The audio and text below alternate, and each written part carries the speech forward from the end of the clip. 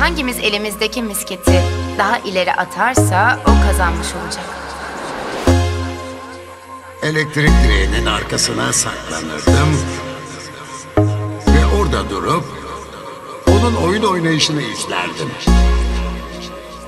Tam boğulacağız diye birbirimize söz vermiştik.